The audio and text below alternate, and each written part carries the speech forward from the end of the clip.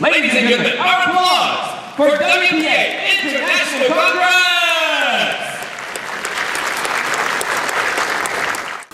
Little Joseph changed today. His eyes have grown so cold. His teacher is so much happier now. Joseph does what he is told. He seemed unruly and depressed. We couldn't just let him run out of control.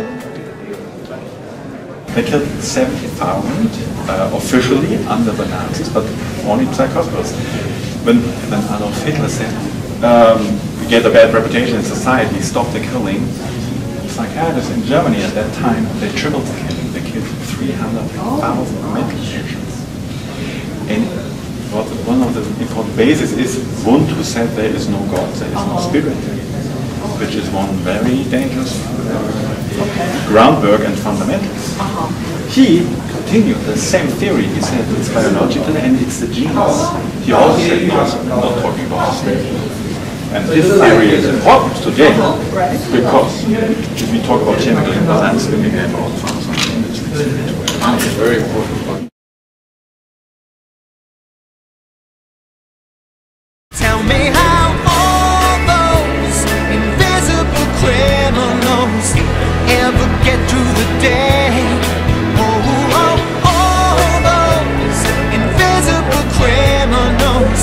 Never what they say.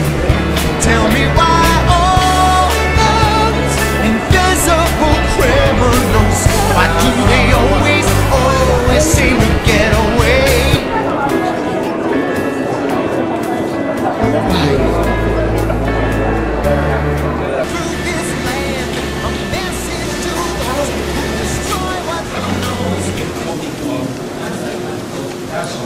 Sir, no camera recording. Last year in Madrid, I was talking to Professor Ruiz, the past president of the WPA. I asked him if he knew of psychiatrist Leon Eisenberg, considered the father of attention deficit hyperactive disorder, ADHD, because of his extensive studies in it. Professor Ruiz said he was a friend of Dr. Eisenberg, and he discussed how, before his death in 2009, Dr. Eisenberg had admitted that ADHD is a prime example of a false disease. I said that few psychiatrists seem to be aware of this admission or that ADHD is not a medically verifiable condition and that it was voted by members of the American Psychiatric Association to be included as a disorder in their diagnostical manual 1987. Within a year, 500,000 American children were suddenly diagnosed with ADHD. Today, there are more than 6 million children diagnosed with this in the US, with 4.3 million prescribed stimulants. 70% of the psychiatrists that determined which mental disorder were to be included in the Diagnostical Statistical Manual for Mental Disorders, or DSM-5, receive money from pharmaceutical companies.